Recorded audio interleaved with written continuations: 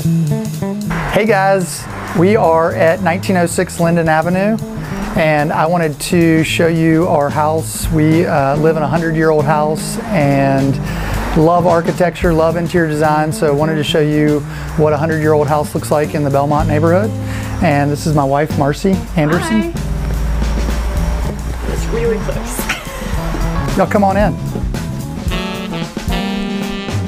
So this is our foyer. Um, you know, because we live in a hundred-year-old house, there's always a project that I'm scheming on. So this mirror was in a hotel in downtown Nashville, which is a pretty cool story. So they were doing a renovation and one of our friends got it and then I sold his house and he didn't want to lug it around anymore. so we lugged it around to three or four houses. Yeah.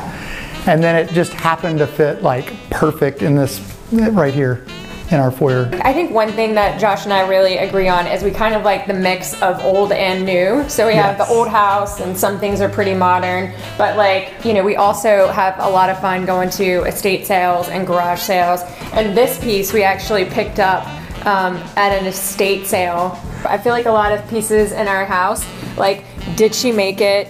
Did we find it at a thrift store or did we buy it new? I love that piece of art. I feel like it, it sort of defines us. We like to think that we're fancy sometimes with our wine glass, but down below we've got on track pants. Yeah. We're LSU fans, so. Windows, amazing, especially this time of year. So you can't do It's Good to just throw the Amazon boxes out See the 'em. window.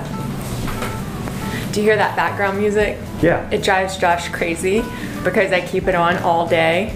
And he's like, who are we playing the music for? But I, I like it when I come home and there's like some background music and it's not like creepy old house, but it's a little bit of music in the background. Okay. All right.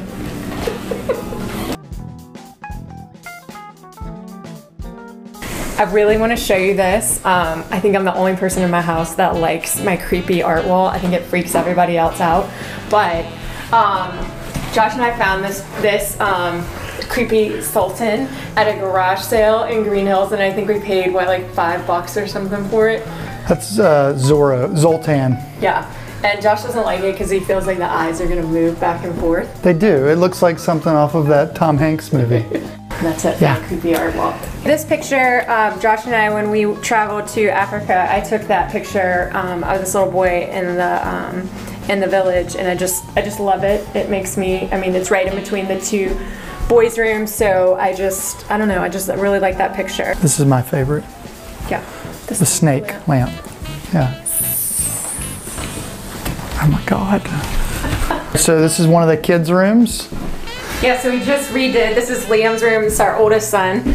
Um, and Josh's one thing in this room was that he wanted to keep the original yellow tile. Yeah. So we kept that. because it's awesome.